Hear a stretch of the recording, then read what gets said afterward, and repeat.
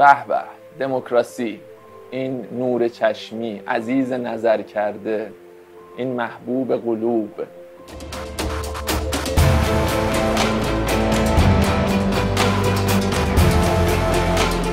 انگار که یه توافق نسبی وجود داره بین هممون که دموکراسی چیز خوبیه. ولی اگر چند قرن برگردیم به گذشته همچین فضایی وجود نداشته. حتی در قرن 18 و 19 میلادی در اروپا کسانی که به آزادی علاقه من بودن الزاما اسم خودشون رو دموکرات نمیذاشتن. ولی چرخ روزگار یه جوری میچرخه که در صد سال گذشته دموکراسی تبدیل میشه به یکی از ارزش های مهم و پذیرفته شده. انقدری که حتی معروف ترین دیکتاتورها و حکومت های اقتدارگرا هم دوست داشتن بگن آقا ما هم یه مدلی از دموکراسی هستیم. رافائل تروخیو حاکم نظامی دومینیکن از اصطلاح دموکراسی نو استفاده می‌کرده. آلفردو استروئنسر حاکم نظامی پاراگوئه اسم حکومت خودش رو گذاشته بود دموکراسی گزینشی. سوکارنو در اندونزی دموکراسی هدایت شده و فرانکو در اسپانیا دموکراسی انداموار. حالا این دموکراسی ریشش در کجاست؟ از کجا شروع شده قصه دموکراسی؟ باید برگردیم مثل خیلی از مفاهیم دیگه به یونان باستان. در زبان یونانی دموکراسی از دو کلمه دموس و کراتوس تشکیل شده بوده. اولی به معنی توده مردم یه عضو عادی جامعه است و کراتوس هم به معنی حکومت کردنه. در زبان فارسی بعضی اوقات ما از معادل مردم سالاری استفاده می‌کنیم. همونجور که به تکنوکراسی میگیم فن سالاری یا به بروکراسی میگیم دیوان سالاری. در اون زمان افلاتون از مخالفان جدی دموکراسی بوده.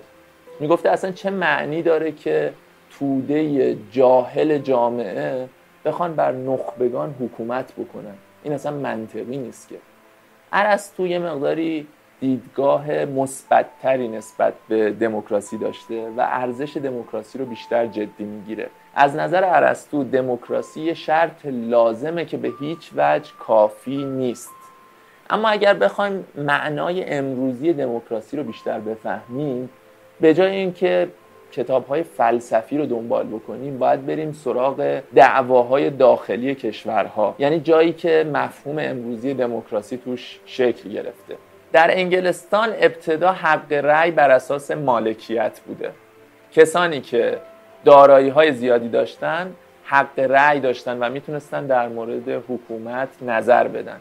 منطقی که این ماجرا داشته این بوده که اگر که تو اموال زیادی داری دارایی های زیادی داری طبیعتا داری مالیات جدی پرداخت می‌کنی و حکومت قراره با اون مالیات کارهایی بکنه. پولش رو تو داری میدی پس حق داری نظر بدی. ولی اگر که تو فرد متمولی نیستی دارایی خاصی نداری مالیات نمیدی دیگه برای چی باید تو نظر بدی که این حکومت چه تصمیمی بگیره؟ مثل اینه که یه ساختمونه و اهالی ساختمون دارن پول شارژ ساختمون رو پرداخت می‌کنن. مدیر ساختمون اگر بخواد تصمیمی بگیره باید نظر اون افراد رو هم بپرسه. باید نظر اونها رو تعمین بکنه. اگر که پول میدی حق نظر دادن داری. در میانه قرن 17 بحث هایی در انگلستان شکل می‌گیره در خصوص حقوق عقب افتاده سربازا. اونجا این بحث مطرح میشه که آیا سربازها حق ندارن که خودشون سهیم باشن در تصمیم گیری های کشور؟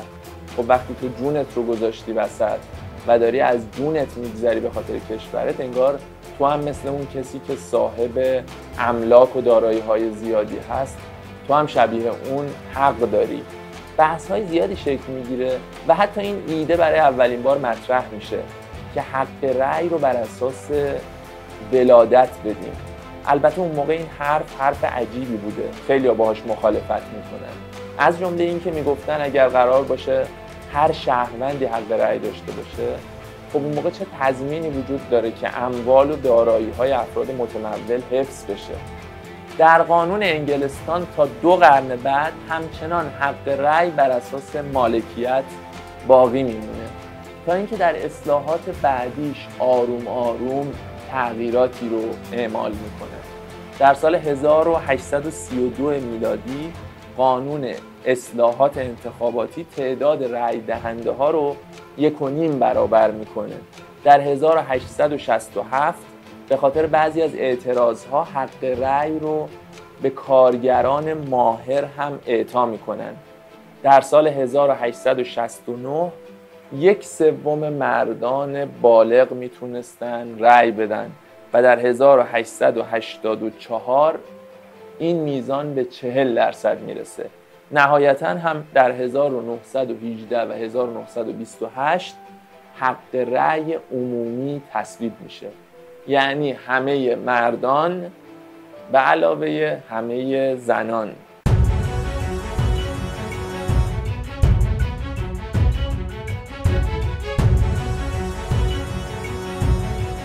سرگذشت حق رأی در آمریکا داستان خیلی بامزه ای داره.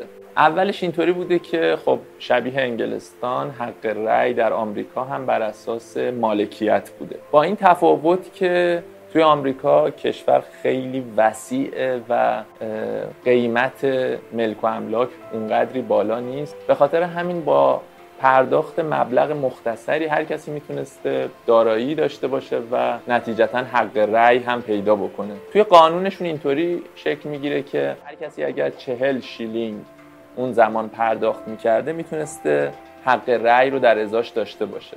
به خاطر تورم سالیانه ای که اون زمان وجود داشته این چهل شیلینگ که عددش ثابت بوده به مرور بی ارزش و بی ارزش تر میشه شبیه 45 هزار تومن یارانه ما که سالها عددش ثابت بود و ارزشش در واقع داشت میومد پایین. به خاطر همین به یه جایی می‌رسه که عملا هر کسی می‌تونسته این پول رو پرداخت بکنه و مسیر رسیدن به حق رأی عمومی هموار میشه و زودتر آمریکا به این می‌رسه. در 1856 تمام مردان و در 1920 زنان هم بهش اضافه میشن. یکی از شاید سکانس های عجیب و غمانگیزی که در تاریخ آمریکا می‌بینیم اون جاییه که نمایندگان ایالت های مختلف در مورد شمارش بردگان با همدیگه بحث داشتن. چون تعداد نماینده های هر ایالت بر اساس تعداد افرادش بوده و اون ایالت هایی که برده های زیادی داشتن دوست داشتن برده ها هم شمرده بشن. اون ایالت هایی که برده هاشون کم بوده دوست داشتن بگن که آقا برده ها رو باید بذاریم کنار و اونا رو نشمریم. نهایتا توافق می‌کنن که هر برده رو سه پنجم فرد آزاد بشمرن. لابلای صحبت ها متوجه شدید که حق رأی زنان هم ظاهرا یه مسئله خیلی متأخر و جدید بوده. یعنی به عنوان آخرین مرحله ای که اضافه می شده به خاطر اینکه در گذشته معمولا زنها حضور اجتماعی خاصی نداشتن املاک و دارایی های زیادی هم معمولا نداشتن. به خاطر همین اصلا این مسئله مطرح نبوده. و آخرین مرحله این توسعه سیاسی می‌رسیده به اینکه حق رأی زنان هم اضافه بشه. توی این نقشه ای که می‌بینید هر کشوری رو می‌تونید متوجه بشید که در چه سالی حق رأی زنان توش تصویب شده. می‌بینید که اغلب کشورها در همه کشورها در قرن بیستم و اغلب کشورها شاید حتی میانه قرن بیستم و بعدش هست منبع صحبت های من تو این ویدیو کتابی به نام دموکراسی از سری A Very Short Introduction. این سری رو انتشارات دانشگاه آکسفورد منتشر کرده و چندین انتشارات در ایران هم اونها رو ترجمه کردن. من انتشارات فرهنگ معاصر و انتشارات بصیرت رو دیدم. ممکنه ناشرین دیگه هم اون سری رو ترجمه کرده باشن. یکی از کتاب های اون سری اسمش دموکراسیه و معمولا کتاب های خوبی هستن چون خیلی مختصر و مفید یه موضوعی رو تبیین کردن. نکته بعدی که می‌خوام از این کتاب بگم اینه که خب ما نهایتا الان به چی میگیم دموکراسی؟ آیا دموکراسی صرفا همین حق رأی داشتنه؟ یا اگر توی کشور صرفا چیزی به نام انتخابات باشه می‌تونیم بگیم آها پس دموکراسی اونجا برقراره؟ بحث های زیادی وجود داره. ولی میشه گفت که چند تا مشخصه نهادی هست که اونا نشون میدن که در یک کشور دموکراسی برقراره یا نه. نمایندگان منتخب انتخابات آزاد منصفانه و پی در پی آزادی بیان دسترسی به منابع اطلاعاتی جایگزین و مستقل انجمنهای مستقل و خودمختار و نهایتا شمول شهروندی به همه مردم کشور. تو این کتاب من نکات جالب دیگری هم دیدم که خب حالا تو این ویدیو نمیشه به همش پرداخت. دو تا از جمله های جالبش رو می‌خونم اینجا. یکیش این بود که میگه اعلامیه ها و بیانیه ها از مشخصه های حکومت های استبدادی هند. روزنامه ها از مشخصه های دموکراسی های مدرن. یه جمله هم داره از گوبلز وزیر تبلیغات هیتلر که از زاویه دید خودش خیلی جالب یه موضوعی رو بیان می‌کنه.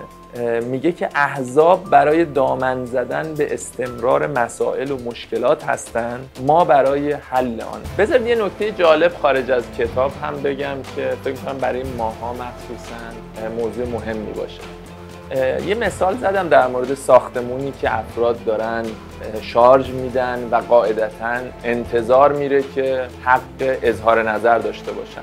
حالا تصور بکنید اون ساختمون یه مثلا گنجی توش پیدا شده باشه. گنجی که در واقع متعلق به همه ساکنین ساختمونه. و مدیر ساختمون اون گنج رو در اختیار بگیره خودش بره اون رو هزینه بکنه و طبیعتا یه بخشیش رو هم هزینه ساختمون بکنه و نیازی به این نداشته باشه که بره در تک تک واحدا رو بزنه و ازشون شارژ ساختمون بگیره. با گذشت زمان اون مدیر ساختمون یه جایگاه پدر سالارانه پیدا می‌کنه که اصلا خودش رو دیگه پاسخگو به ساکنین اون ساختمون نمی‌دونه. این اتفاقیه که در کشورهای نفتی حوزه خلیج فارس افتاده به خاطر نفت.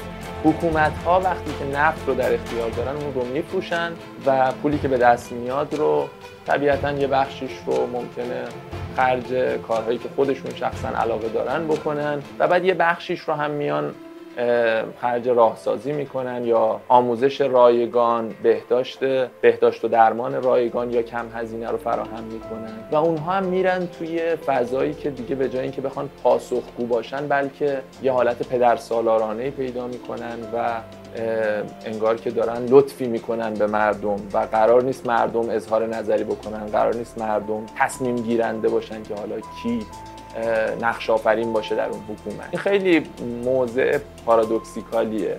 یعنی وقتی یک کشور منابع طبیعی بیشتری داره معمولا رشد اقتصادی توش کمتره. و کشورهای نفتی خیلی جالبه که معمولا حکومتهاشون اقتدارگراتر هستن. البته نمیشه گفت یه قاعده قطعیه. مثال نفس هم داره مثل کشور نروژ. نروژ هم منابع نفتی داره ولی کشور کاملا دموکراتیکی هم هست. خب برگردم به کتاب. نقطه پایانی. آمریکا در زمینه آزادی و دموکراسی کشور پیشرویی بوده. به خاطر همین در قرن 19 میلادی چشمهای کنجکاو زیادی در اروپا داشتن به آمریکا نگاه می‌کردن تحولاتش رو دنبال می‌کردن. می‌خواستن ببین که این اتفاقات تازه به چه سمتی میره. از جمله یه متفکر فرانسوی به نام الکسی د که در سال 1831 یه مأموریت کاری میره به آمریکا. میگه من می‌خواستم ببینم که این اتفاقات تازه‌ای که در آمریکا داره رقم می‌خوره چه ترس ها و امیدهایی رو به همراه خودش داره. بعد از اینکه برمیگرده دو جلد کتاب منتشر می‌کنه به نام دموکراسی این امریکا دموکراسی در آمریکا که ترجمه فارسیش هم منتشر شده و یه جمله خیلی خیلی تاثیرگذار داره این کتاب که پایان بندی کتابشه. میگه الان دیگه من فکر می‌کنم هیچ راه گریزی برای اون جریانی که دنبال برابریه وجود نداره. هیچ جوری نمیشه اینو متوقف کرد. مردم روزگار ما حتما هر جور شده می‌خوان به اون موقعیت فرصت برابر برسن. حالا این تصمیم حکومت هاست که این برابر شدن تبدیل بشه به برابر شدن همه در یک وضعیت مخروبه و بدبختی و نکبت یا برابری در رفاه و فرصتهای برابر در کل جامعه. این انتخاب خود حکومت هاست ولی جریان برابری خواهی دیگه ترمزی نداره.